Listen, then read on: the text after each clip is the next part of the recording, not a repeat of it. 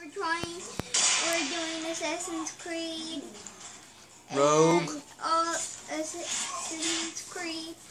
And Currie called it Rogue, but I don't. And it isn't Rogue. It's just Part two. Part two.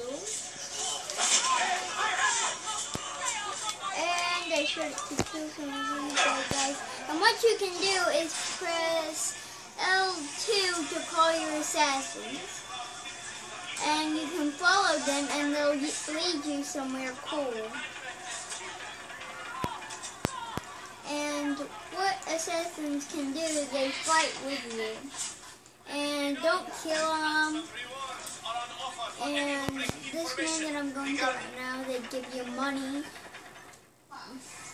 And by the way, if you want to get to another city, just come to a man that's, um, let me see. You can swim in the water, and you probably know about that. And if you come to this guy, you can press circle and shop for all that. And when you come to here, what you can do is you can ask that man, and he puts you on his boat and scares you over there. And that man gives you bombs. This man over here that's, um, let me see where he is. Um,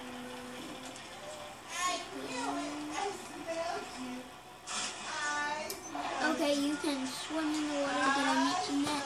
And you can steer a rowboat by pressing circle. If you press X, you quit. And quit means you stop rowing. And you can get off and you can put people inside. This is good. Okay.